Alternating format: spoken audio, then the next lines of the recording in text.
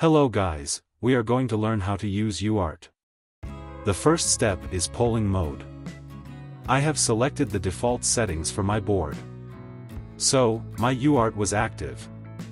Let's see the configuration. The most important thing is the baud rate. This means how many bits can be transmitted in one second. 115,200 is very popular. You can find it in many devices. The next item is word length, which means how many data bits are transmitted in one frame. Also you can set the parity. The last one is stop bit, you can select one or two.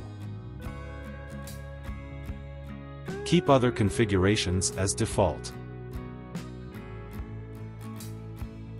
Config your project's path and select compiler and press the generate button.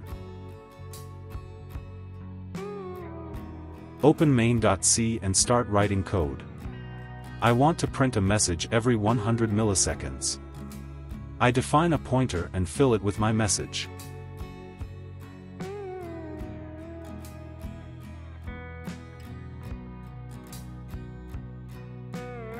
Now, after a delay, I write the transfer function.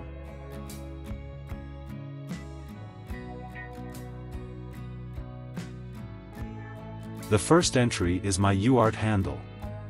The second is my pointer, the third is the length of the data to send, the last one is the timeout, which means the maximum time this function will wait for the transfer to send the data.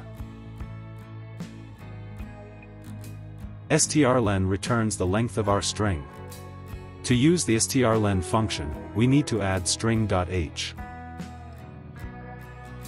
To remove the compiler warning, we should use a different data type. As you can see, I have changed our data type to match the input of the function. Now, we want to see the result. In my case, my UART is connected to the ST-Link programmer and I can open a serial terminal on my PC.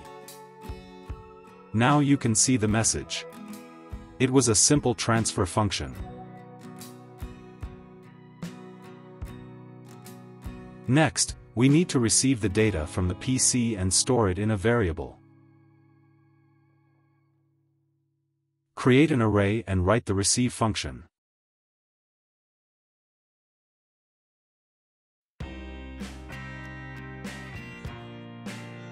The second parameter is where the received data is stored and the third parameter is the maximum amount of data the function can get before a timeout.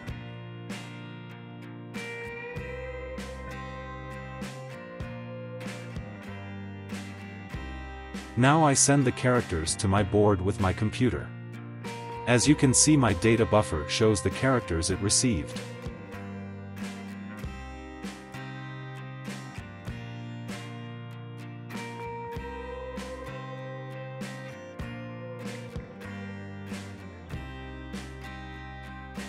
Data is successfully received.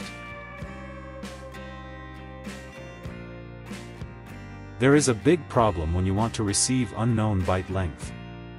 We can use another function, that calls receive to idle.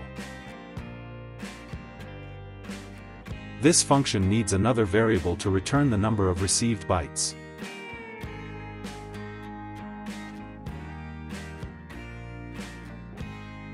There are three conditions to return the response from this function. To return OK, the received length must be reached to the maximum length of the data or idle line, and to return error reach to the timeout. I use a variable to indicate the number of received packets.